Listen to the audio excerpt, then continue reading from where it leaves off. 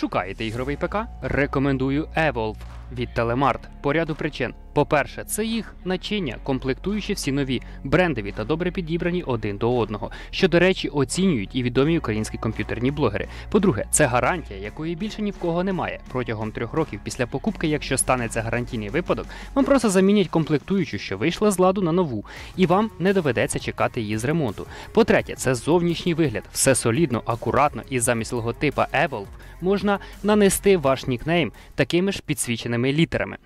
Замовляйте Evil за посиланням під відео. Варіанти є під будь-які ігри і під будь-який гаманець.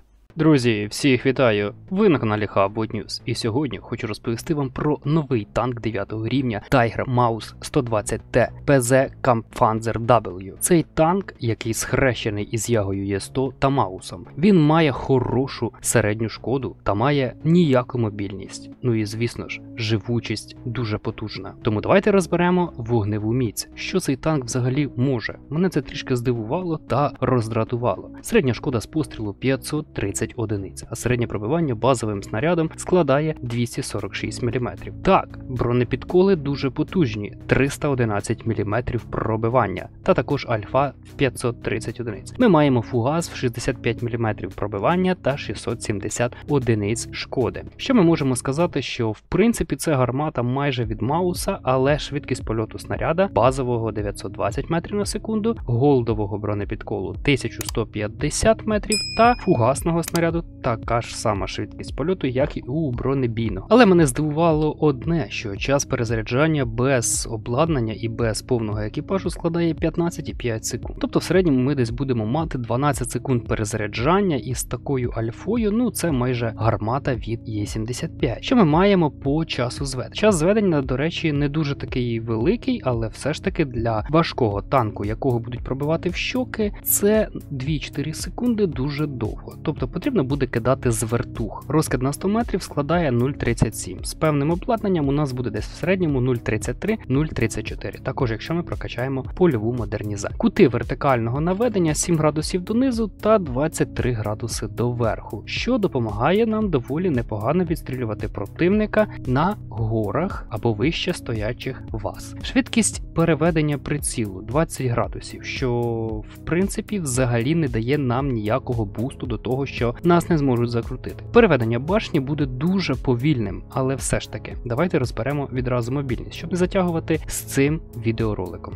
А зараз коротенька реклама від спонсору відеоролика. Мобільність. Максимальна швидкість вперед 32 км та задній хід 16. Як ви знаєте, що в загальному по паспорту у нас пише 32, а їхати ми будемо десь в середньому 29 км, ну максимум 30 км. Це без турбін, без нічого, просто загальна стокова швидкість. Потужність двигуна складає 1200 кінських сил, та питома потужність на одну тонну складає 10 кінських сил. Швидкість повороту корпусу. Корпус повертається дуже повільно всього 28 градусів. Тобто, як ви розумієте, що якщо у нас повертається дуже повільно башня, повертається повільно гусениця, то цей танк буде дуже дуже дуже повільним і не зможе відстрілювати противника, який буде вас крутити. Тобто будь-яка СТ або ж то динамічні важкі танки, наприклад, ВЗ-55, або ж то якийсь там ВЗ-111А5, вас будуть з легкістю закручувати. Навіть той самий дід ЄС-7 та ЄС-4 зможуть вас закрутити. Що ж у нас там по живучості? Живучість у нас 1950 одиниць. До речі, для 9 рівня це непогано. Але бронювання корпусу мене дуже здивувало. Бронювання корпусу в лобі 200 мм, а в бортах 120 мм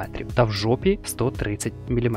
Хочу вам нагадати, ви можливо бачите уже на картинках або бачили, що цей Tiger Mouse е, схожий на лобі на Ягу є 100, по бортах на Є75 та башня від Мауса. Тому у башні в нас бронювання 300 мм в лобі. Як ви знаєте, що в щоках більш за все, що цих 300 мм не буде, та будуть пробивати всі кумулятивами без проблем. Бронювання в бортах башні 150 мм.